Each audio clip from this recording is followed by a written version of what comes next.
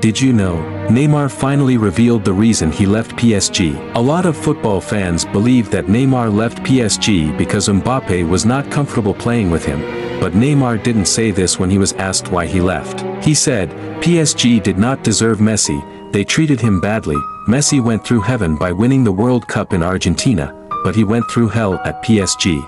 I also went through hell there. That is why both of them unfollowed PSG immediately they left the club.